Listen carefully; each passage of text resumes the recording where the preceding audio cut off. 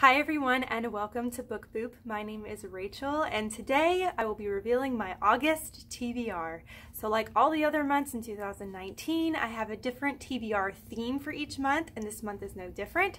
Since August is my birthday month, I'm going to be focusing on my absolute favorite genre, which is paranormal. Paranormal is my theme for August and so everything that I'm reading this month mainly focuses on paranormal type themes, mostly ghosts because I am a huge sucker for ghost stories.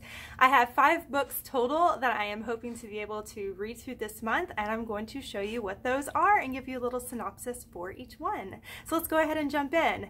The first few books I have to show you are actually middle grade and I love reading middle grade ghost stories. Middle grade ghost stories for me are so incredible because they aren't gummed up with what a lot of YA books tend to have in paranormal books, which is like romance, honestly. It's so focused on the ghost story at hand, which is why I love reading them so much. They are a blast to read. So the first one I have to show you is called The Crossroads by Chris Grabenstein. This is a book I've had on my overall TBR on Goodreads for a very long time. I've been so interested in reading it.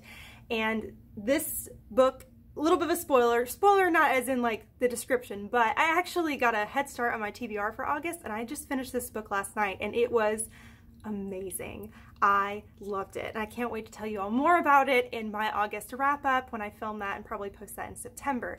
But this story is about the crossroads. It's about this crossroads between two highways that is haunted, where in the 1950s there was a huge wreck between a car and a Greyhound bus where everybody in the wreck died except for one person.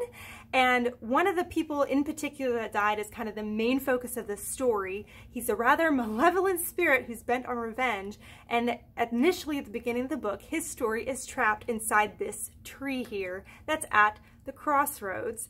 This story was so much fun and it kind of jumps back and forth between present day and then also just what happened with this huge accident and just learning the mystery behind it. So there's lots of ghosty creepiness. It was amazing. This is a great read.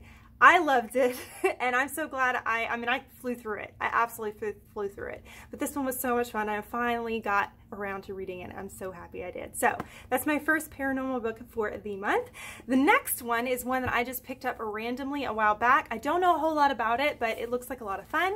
And it is called Graveyard Shift Shift by Chris Westwood. So this story takes place in London. It's about this kid that goes to a cemetery and he ends up get, kind of stumbling upon this, um, what was it called? The Ministry of Pandemonium. And he ends up getting recruited for this ministry who basically tracks down spirits to lead them to the afterlife. So that's kind of the main focus of this book. I think there's a little bit of a battle between the Ministry of Pandemonium and some other sort of like mysterious ministry that's wanting to use these spirits for basically evil intent. But this looks like a lot of fun as well. It's a relatively short book, also middle grade. I'm excited to jump into this one. I probably honestly will be starting this one today so I'm excited about that. So that's the other one.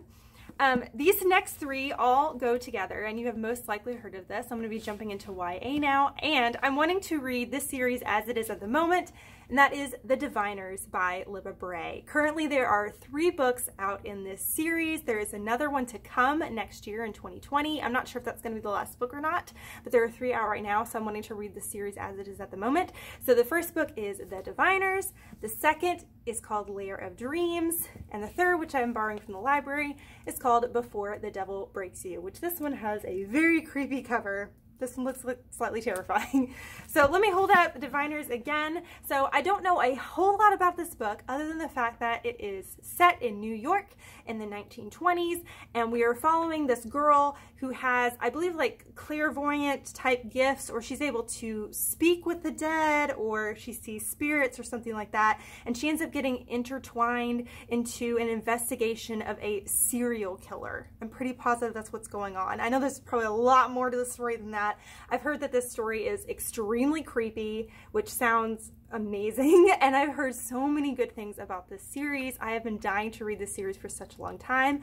I also will be doing a buddy read, at least with this first book, The Diviners, with Kalyn from over at Kalyn Abridged. I will link her channel down below if you'd like to check her out. She's absolutely amazing. She's honestly one of my favorite booktubers.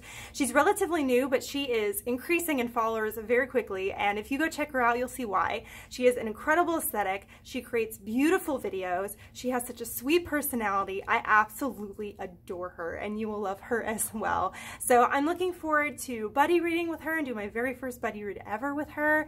Um, and just in general, I've never done a buddy read before, so I think it'll be a lot of fun. I'm looking forward to getting to know Kalyn a little bit more as well, and hopefully kind of become better friends. But yeah, so those are all five of the books that I'm hoping to get to this month. I am so excited to be jumping into my absolute favorite genre. I love paranormal so much. So three things. Number one, have you read any of these books that I mentioned today? If you have, please let me know down below what you think about them. Number two, what are you planning to read in August? Do you have any reading plans, a TBR set up? Let me know about that as well. And then number three, if you have any paranormal recommendations for me, specifically kind of focusing on ghosts, please give me those recommendations. I'm always looking for more of those. I love those stories so much. I inhale them like crazy. They're my bread and butter. So if you have any suggestions, I would really appreciate it. On this side of the screen over here is my logo. If you click on that, you can subscribe to my channel and follow me on my book journey. On this side over here is another video if you'd like to watch another one right now. But thank you so much for watching. You rock. And don't forget to keep reading. Bye.